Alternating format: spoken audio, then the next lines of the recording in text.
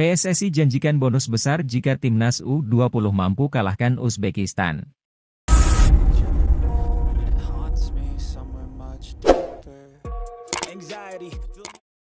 Menir Timnas Indonesia U20 akan janjikan bonus besar kepada para pemain jika mampu mengalahkan Uzbekistan dalam pertandingan grup A Piala Asia U20 2023. Pertandingan yang akan berlangsung di Stadion Lokomotif, Tashkent, Uzbekistan pada Selasa, 7.3 malam waktu Indonesia Barat.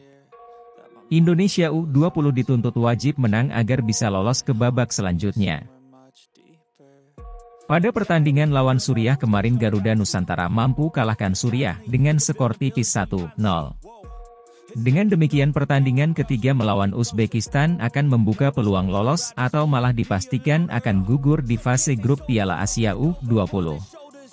Endri Erawan, selaku anggota Komite Eksekutif, Exco, PSSI yang juga menir Timnas Indonesia, ia berjanji akan memberikan bonus ke para pemain jika tampil sesuai target dan bisa kalahkan Uzbekistan.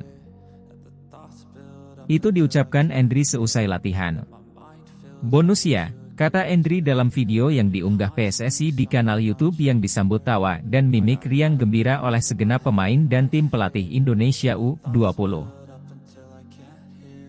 Tapi, kalau main bagus, saya tambahin lagi.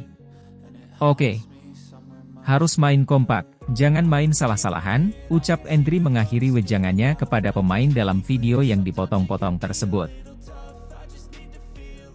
Selain Endri, turut serta pula anggota Exco PSSI lainnya yang juga menjadi menir tim, yaitu Sumarji. Hanya saja Sumarji tidak terlihat dalam latihan sore tersebut. Pertandingan Uzbekistan melawan Indonesia U20 diakini akan berjalan sangat sengit dan ketat. Pasalnya Indonesia wajib menang melawan Uzbekistan kalau timnas masih ingin lanjut ke babak selanjutnya.